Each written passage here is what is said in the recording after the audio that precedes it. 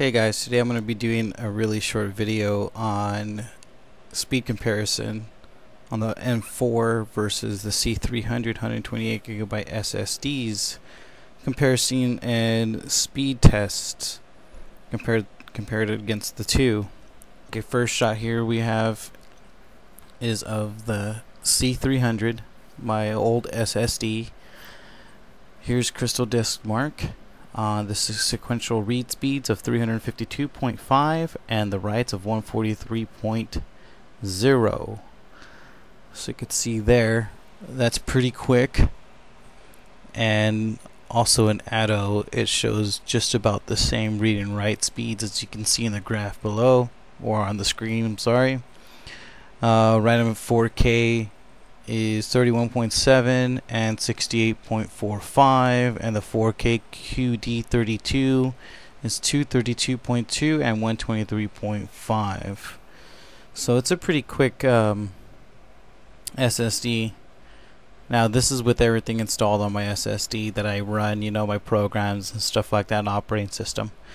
So that's the the read and write speeds and that's pretty quick. It's still the same speeds as originally when I purchased the drive back in 09. Now here on the next screenshot we have the M4.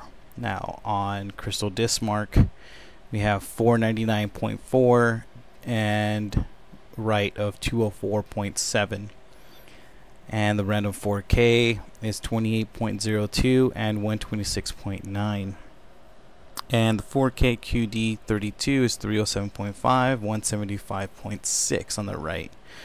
And again on Atto on the graphs below, it shows a little bit quicker read speeds of like 541. So that's it's really quick. It's a really quick little drive. Um, real world differences, um, I really don't see a difference between the C300 and the M4.